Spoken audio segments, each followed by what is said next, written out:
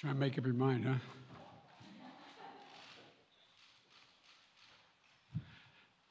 Well, good afternoon.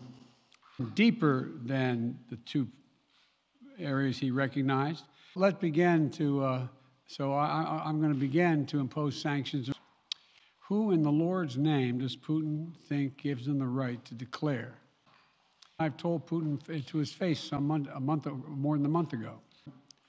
I hope I'm wrong about that. Defending freedom will have cost for us as well and here at home.